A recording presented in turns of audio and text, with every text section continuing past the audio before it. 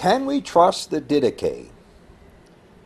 Didache simply means teaching or instruction. The Didache is erroneously called the teaching or teachings of the twelve apostles, although the apostles never wrote it. The only manuscript we have of the Didache was discovered in 1873 in Constantinople, modern day Turkey. The manuscript is signed Leon Notary and Sinner and bears the date AD 1056.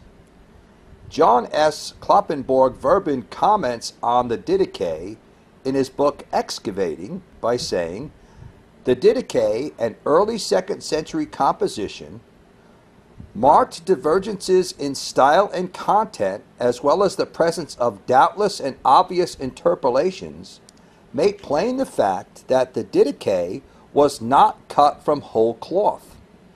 The dominant view today is that the document was composed on the basis of several independent pre redactional units which were assembled by either one or two redactors. Comparison of the two ways section with several other two ways documents suggests that Didache chapters 1 through 6 is itself the result of multi stage editing. The document began with rather haphazard organization, but was reorganized in a source common to the Didache and the Apostolic Church Order. Church historians such as Johannes Quasten wrote that the Didache was not written during the lifetime of the original apostles and that the document was tampered with by later insertions. Johannes Quasten further wrote, the document does not go back to the apostolic times. Furthermore, such a collection of ecclesiastical ordinances presupposes a period of stabilization of some duration. Scattered details indicate that the apostolic age is no longer contemporary, but has passed into history. In the early 4th century, Eusebius of Caesarea wrote that the so called teachings of the apostles was spurious because it was not written by the apostles. There is so much controversy over the authenticity of the Didache that I had to spend an enormous amount of time researching the historical data to uncover the truth. After thorough research, I have concluded that the Didache contains the beliefs and practices of some early Christians during the early to mid second century. It was known as a spurious document by the time of Eusebius because it was not recognized as being the actual teaching of the original 12 apostles. The Didache appears to be a collection of early to mid second century Christian writings combined together by an unknown scribe sometime in the second century. Unfortunately, scholars have identified so many later interpolations and additions to the Didache that we can no longer trust the veracity of its contents. The following information and quotes are from the book Was the Early Church Oneness or Trinitarian by author Thomas Weisser. The particular part that we are concerned with is Didache chapter 7. But concerning baptism, thus shall you baptized. Having first recited all these things, baptize in the name of the Father and of the Son and of the Holy Spirit in living or running water. But if thou hast not living water, then baptize in other water. And if thou art not able in cold, then in warm. This part of Didache 7 is not problematic. I can see a preference for baptizing in running water or rivers because the water is usually cleaner but I don't see why there would be a preference for cold water above warm water among the early Christians. Although the passage appears a bit nonsensical, there is no clear violation of inspired scripture. The Didache merely repeats the words of Matthew 28:19, which is a command to baptize in the name, the singular name of the Father, Son, and Holy Spirit, which the apostles proved to be Jesus Christ. In chapter 9, the Didache goes on to say, But let no one eat or drink of your Eucharist unless they have been baptized into the name of the Lord Jesus. Thus, there is no scriptural contradiction in the Didache at this point because Didache chapter 9 clarifies that water baptism into the name of the Father, Son, and Holy Spirit is properly carried out into the name of the Lord Jesus in Didache chapter 9. However, the next sentence in Didache 7 presents a problem with dating as it contradicts both Scripture and early Christian history. But if thou hast neither, then pour water on the head thrice, meaning three times, in the name of the Father, and of the Son, and of the Holy Spirit. Trinitarians claim that this proves the early church was Trinitarian rather than oneness. Thomas Weisser wrote, Let us first consider that we are dealing with either a forgery or a document that was corrupted by later interpolations. Although it is ascribed to the apostles, they probably never saw it. Secondly, the internal evidence points to Didache chapter 7 as an interpolation or later addition. In Didache chapter 9, which deals with communion, the writer says, But let no one eat or drink of this Eucharistic thanksgiving, but they that have been baptized into the name of the Lord Jesus. The Greek text of the Didache says Iesus, which is Greek for Jesus.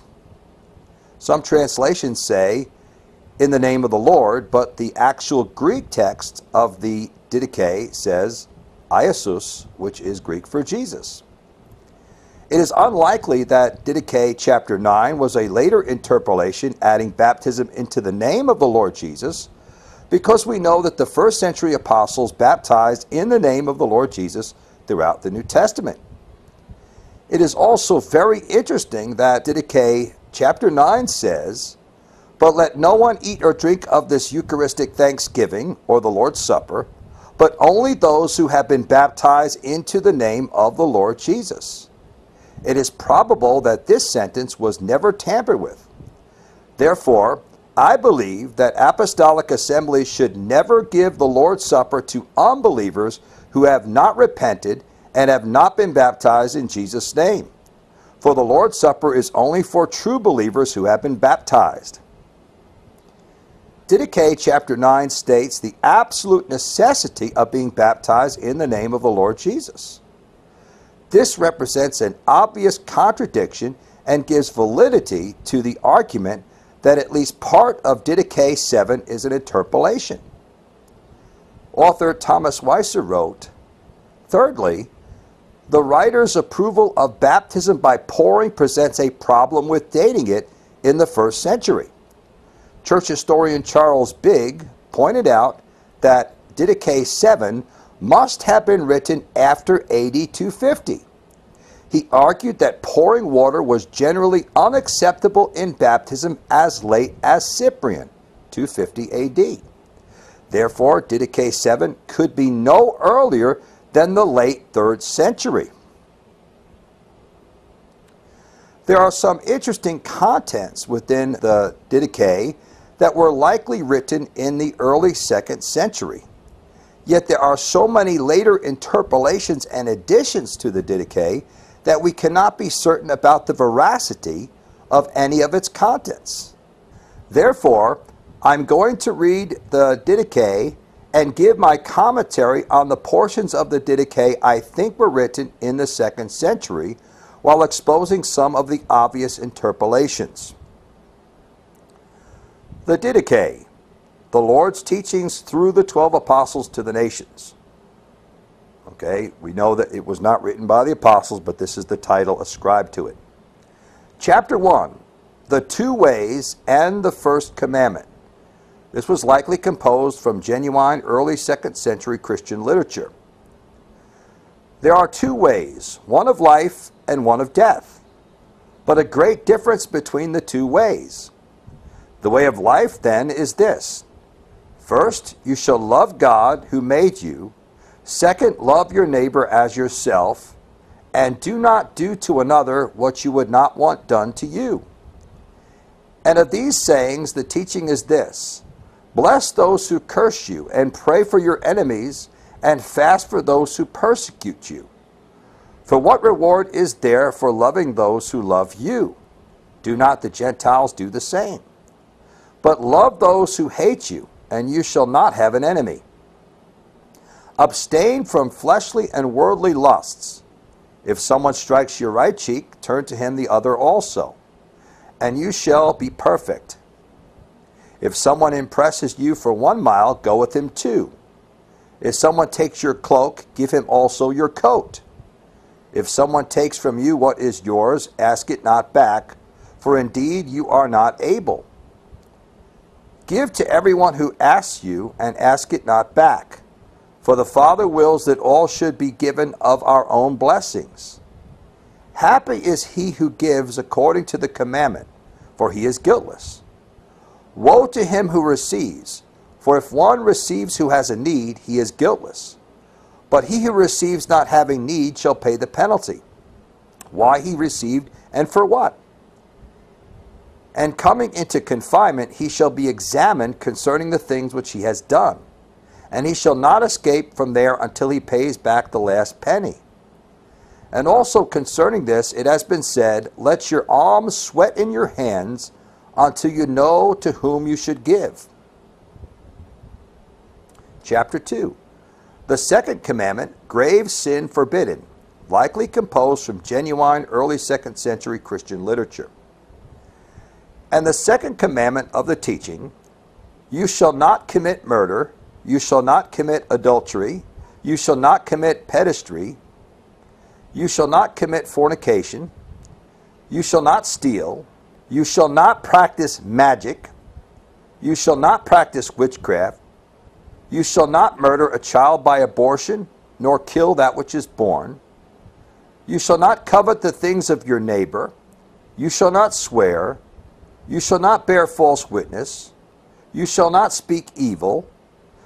You shall bear no grudge. You shall not be double minded or double tongued, for to be double tongued is a snare of death. Your speech shall not be false nor empty, but fulfilled by deed. You shall not be covetous, nor rapacious, nor a hypocrite, nor evil disposed, nor haughty. You shall not take evil counsel against your neighbor you shall not hate any man, but some you shall reprove, and concerning some you shall pray, and some you shall love more than your own life. Chapter 3 Other sins forbidden, likely composed from genuine early second century Christian literature. My child, flee from every evil thing and from every likeness of it be not prone to anger, for anger leads to murder. Be neither jealous nor quarrelsome, nor of hot temper. For out of all these murders are engendered. My child, be not a lustful one, for lust leads to fornication. Be neither a filthy talker, nor of lofty eye, for out of all these adulteries are engendered. My child, be not an observer of omens, since it leads to idolatry. Be neither an enchanter, nor an astrologer, nor a purifier, nor be willing to look at these things. For out of all these idolatry is engendered. My child, be not a liar, since a lie leads to theft. Be neither money loving nor vainglorious, for out of all these thefts are engendered. My child, be not a murmurer, since it leads the way to blasphemy. Be neither self willed nor evil minded, for out of all these blasphemies are engendered. Rather, be meek, since the meek shall inherit the earth. Be long suffering and pitiful, and guileless, and gentle, and good, and always trembling at the words which you have heard, the word of God. You shall not exalt yourself, nor give over confidence to your soul. Your soul shall not be joined with lofty ones, but with just and lowly ones shall it have its intercourse. Accept whatever happens to you as good, knowing that apart from God nothing comes to pass. Chapter 4 Various Precepts, likely composed from genuine early Christian literature. My child, remember night and day him who speaks the word of God to you, and honor him as you do the Lord. For wherever the lordly rule is uttered, there is the Lord. And seek out day by day the faces of the saints, in order that you may rest upon their words. Notice that the early Christians regarded each other as saints. Seek out day by day the faces of the saints, in order that you may rest upon their words. Do not long for division, but rather bring those who contend to peace. Judge righteously, and do not respect persons in reproving for transgressions. You shall not be undecided whether or not it shall be. Be not a stretcher forth of the hands to receive, and a drawer of them back to give. If you have anything through your hands you shall give ransom for your sins. Do not hesitate to give, nor complain when you give, for you shall know who is the good repayer of the hire. Do not turn away from him who is in want, rather, share all things with your brother. And do not say that they are your own. For if you are partakers in that which is immortal, how much more in things which are mortal? Do not remove your hand from your son or daughter. Rather, teach them the fear of God from their youth. Do not enjoin anything in your bitterness upon your bondman or maidservant who hope in the same God, lest ever they shall fear not God who is over both. For he comes not to call according to the outward appearance, but to them whom the Spirit has prepared. And you bondmen shall be subject to your masters as to a type of God in modesty and fear. Notice that back then in the Roman Empire they had slaves. You shall hate whole hypocrisy and everything which is not pleasing to the Lord. Do not in any way forsake the commandments of the Lord, but keep what you have received, neither adding thereto nor taking away therefrom in the church you shall acknowledge your transgressions, and you shall not come near for your prayer with an evil conscience. This is the way of life. Chapter 5 The Way of Death, likely composed from early Christian literature. And the way of death is this first of all, it is evil and accursed. Murderers, adulterers, lust, fornication, thefts, idolatries, magic arts, witchcrafts, rape, false witness, hypocrisy, double heartedness, deceit, haughtiness, depravity, self will, greediness, filthy talking, jealousy, overconfidence, loftiness, boastfulness, persecutors of the good, hating truth, loving a lie, not knowing a reward for righteousness, not cleaving to good, nor to righteous judgment, watching not for that which is good, but for that which is evil, from whom meekness and endurance are far, loving vanities, pursuing revenge, not pitying a poor man, not laboring for the afflicted, not knowing him who made them, murderers of children, destroyers of the handiwork of God, turning away from him who is in want, afflicting him who is distressed, advocates of the rich, lawless judges of the poor, utter sinners. Be delivered, children, from all these. Chapter 6 Against false teachings and food offered to idols, likely composed from genuine early Christian literature. See that no one causes you to err from this way of the teaching, since apart from God it teaches you for if you are able to bear the entire yoke of the Lord, you will be perfect. But if you are not able to do this, do what you are able. And concerning food, bear what you are able. But against that which is sacrificed to idols, be exceedingly careful, for it is the service of dead gods. Chapter 7 concerning baptism, later Trinitarian interpolations were added. And concerning baptism, baptize this way having first said all these things, baptize in the name of the Father and of the Son and of the Holy Spirit in living or running water. But if you have no living water, baptize into other water. And if you cannot do so in cold, do so in warm. But if you have neither, pour out water three times upon the head into the name of the Father and Son and Holy Spirit but before the baptism, let the baptizer fast and the baptized, and whoever else can. But you shall order the baptized to fast one or two days before. This I have a problem with. Not a single instance in the book of Acts defers baptism for days upon end or fasting before baptism. There's no scriptural precedent. All who believed the gospel were always baptized the same day they heard the gospel from human lips.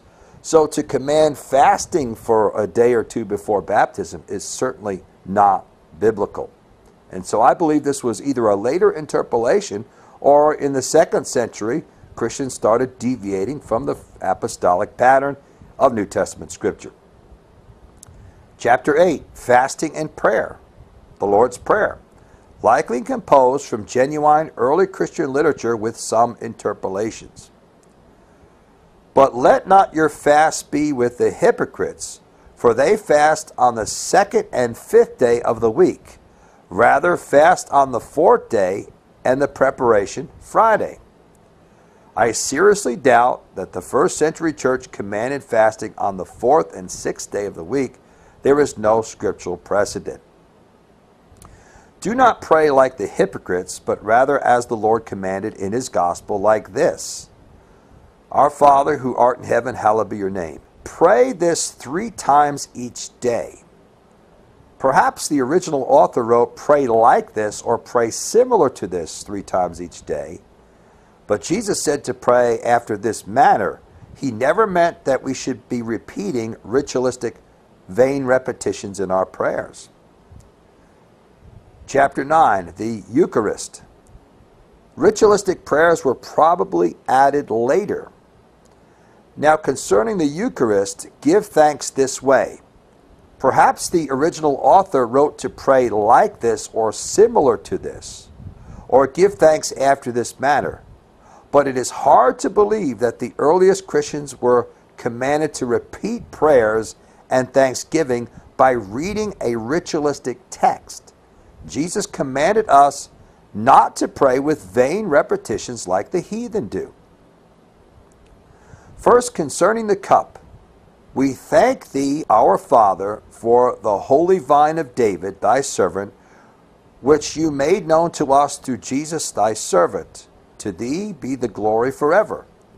No hint of any Trinitarian terminology here. And concerning the broken bread, we thank thee, our Father, for the life and knowledge which you made known to us through Jesus thy servant. Again, no hint of Trinitarian terminology. It just simply says the Father as God and the man Christ Jesus. 1 Timothy 2 5 says there's only one God and one mediator between God and men, the man Christ Jesus. We don't find anything about we thank thee, Father, we thank you, Son, and we thank you, Holy Spirit. No, it's just we thank the Father through Jesus Christ the man Christ Jesus, God who became a man. To thee be the glory forever, even as this broken bread was scattered over the hills, and was gathered together and became one. So let thy church be gathered together from the ends of the earth into thy kingdom. For thine is the glory and the power through Jesus Christ forever. But let no one eat or drink of your Eucharist unless they have been baptized into the name of the Lord Jesus. For concerning this also the Lord has said, Give not that which is holy to the dogs. Notice that this text is diametrically opposed to chapter 7, where water is poured over the head three times, once in the title Father, once in the title Son, and once in the title Holy Spirit. Therefore, it is likely that this portion of chapter 9 was a part of the original early second century teaching, but a small section of chapter 7 was likely interpolated later to support pouring water over the heads three times and invoking three titles Father, Son, and Holy Spirit in false baptism. Chapter 10 Prayer after Communion. If the original author meant to pray like this or similar to this, this text may be genuine. But after you are filled, give thanks this way. Jesus commanded us not to use vain repetitions in our prayers. We thank thee, Holy Father, for thy holy name, which you didst cause to tabernacle in our hearts, and for the knowledge and faith and immortality which you made known to us through Jesus thy servant. To thee be the glory forever. Thou, Master Almighty, did create all things for thy name's sake. You gave food and drink to men for enjoyment, that they might give thanks to thee. But to us you did freely give spiritual food and drink and life eternal through your servant. Before all things we thank you that you are mighty. To you be the glory forever. Remember, Lord, thy church to deliver it from all evil and to make it perfect in thy love, and gather it from the four winds, sanctified for your kingdom, which you have prepared for it. For thine is the power and the glory forever. Let grace come and let this world pass away. Hosanna to the God, Son of David. If anyone is holy, let him come. If anyone is not so, let him repent. Maranatha, Amen. Again, we see no hint of any Trinitarian terminology here. But permit the prophets to make thanksgiving as much as they desire. Here we find the early second century style of worship which was spontaneously conducted by prophetic inspiration. Chapter 11 Concerning teachers, apostles, and prophets, likely composed from genuine early second century Christian literature. Whosoever therefore comes and teaches you all these things that have been said before, receive him. But if the teacher himself turns and teaches another doctrine to the destruction of this, hear him not. But if he teaches so as to increase righteousness and the knowledge of the Lord, receive him as the Lord. But concerning the apostles and prophets, act according to the decree of the gospel. Let every apostle who comes to you be received as the Lord, but he shall not remain more than one day or two days if there is a need. But if he remains three days, he is a false prophet. This portion of chapter 11 could not be inspired. We know that the Apostle Paul often remained in a city for long periods of time, such as Corinth. So it seems that the practice of not receiving apostles for more than one or two days was a deviation from the first century practice of the apostles. And when the apostle goes away, let him take nothing but bread until he lodges. If he asks for money, he is a false prophet. And every prophet who speaks in the Spirit you shall neither try nor judge. For every sin shall be forgiven, but this sin shall not be forgiven. But not everyone who speaks in the Spirit is a prophet, but only if he holds the ways of the Lord. Therefore, from their ways shall the false prophet be known. This seems a little strange here too, a little deviation, because the Bible says, Let the prophets speak, those who are prophesying, two or three, and let the others judge. We do need to have scrutinization power from the Holy Spirit to discern between false and true prophecy. So I think this is just a encouragement to be careful not to be quick to reject prophecy, because if you reject prophecy, you may be guilty of blaspheming the Holy Spirit. Therefore, from their ways shall the false prophet and the prophet be known. And every prophet who teaches the truth but does not do what he teaches is a false prophet. And every prophet proved true, working unto the mystery of the church in the world, yet not teaching others to do what he himself does, shall not be judged among you. For with God he has his judgment. For so did also the ancient prophets. But whoever says in the Spirit, Give me money or something else, you shall not listen to him. But if he tells you to give for others' sake who are in need, let no one judge him. Now, this is very interesting because we know historically that the Didache was written in the second century rather than the first century, yet in the early to mid second century, there were prophets. There was spiritual gifts operating in the churches, even after the book of Revelation had been completed. Chapter 12 Reception of Christians, likely composed from genuine early Christian literature. But receive everyone who comes in the name of the Lord, and prove and know him afterward. For you shall have understanding right and left. If he who comes is a wayfarer, assist him as far as you are able. But he shall not remain with you more than two or three days, if need be. But if he wants to stay with you and is an artisan, let him work and eat. But if he has no trade, according to your understanding, see to it that, as a Christian, he shall not live with you idle. But if he wills not to do, he is a Christmonger. Watch that you keep away from such. This is in perfect harmony with Paul's command if any man does not work, neither shall he eat.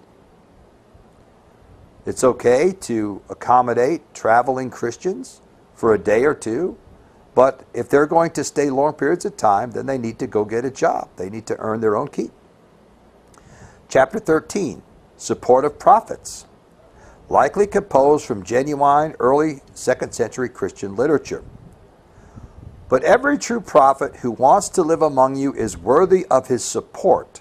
So also a true teacher is himself worthy as the workman of his support. Every first fruit, therefore, of the products of winepress and threshing floor of oxen and of sheep, you shall take and give to the prophets, for they are your high priests. But if you have no prophet, give it to the poor. If you make a batch of dough, take the first fruit and give according to the commandment. So also when you open a jar of wine or of oil, take the first fruit and give it to the prophets. And of money or silver and clothing and every possession, take the first fruit as it may seem good to you, and give according to the commandment. The first fruits of all income, according to the commandment, sure sounds like tithing. So we know that the early Christian communities in the second century believed in tithing. Chapter 14 Christian assembly on the Lord's Day, likely composed from early Christian literature. But every Lord's Day, gather yourselves together and break bread and give thanks after having confessed your transgressions, that your sacrifice may be pure. But let no one who is at odds with his fellow come together with you until they be reconciled, that your sacrifice may not be profaned. For this is that which was spoken by the Lord. In every place and time offer to me a pure sacrifice. For I am a great king, says the Lord, and my name is wonderful among the nations. Chapter 15 Bishops and Deacons, Christian Reproof. Likely composed some genuine early Christian literature. Appoint therefore for yourselves bishops and deacons worthy of the Lord, men meek and not lovers of money, and truthful and proved.